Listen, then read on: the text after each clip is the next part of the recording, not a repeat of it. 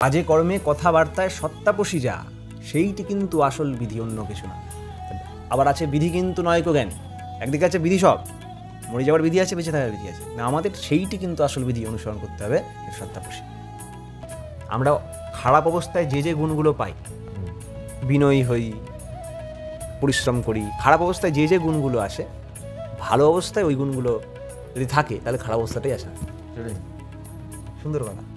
আমরা অনেক যেরকম করছি ঠাকুরের এগুলো ওই কাজেরই একটা স্টেপ বলে মনে করি। কারণ একটা জিনিস, তখনও কি কষ্ট থেমে যায়? তখন থাকবে না। তখন কষ্ট আর আনন্দের বার উঠে যায় কষ্টটা আরও বিয়ারেবল হয়ে যায়। আনন্দ, যেটাকে ভাবতাম যে এর বেশি আনন্দ হয় না, সেটাও বোঝা যায়। যেমন ক্যাতাকুতু দিলে, বোঝা যায় এরপরে আর এত হাসি হাসবো না। তাহলে আরেকটু বেশি কোনো বেশি দিলে বোঝা যায় যে, আরে ভাই আরও আরও হ্যাঁ আরও হাসা যেতে পারে। লেভেলটা যদি বাড়িয়ে দিই আরও তখন মনে হয় এটা হচ্ছে আরেকটু বেশি। তো ওরকমভাবে লেভেলটাও বাড়তে থাকে।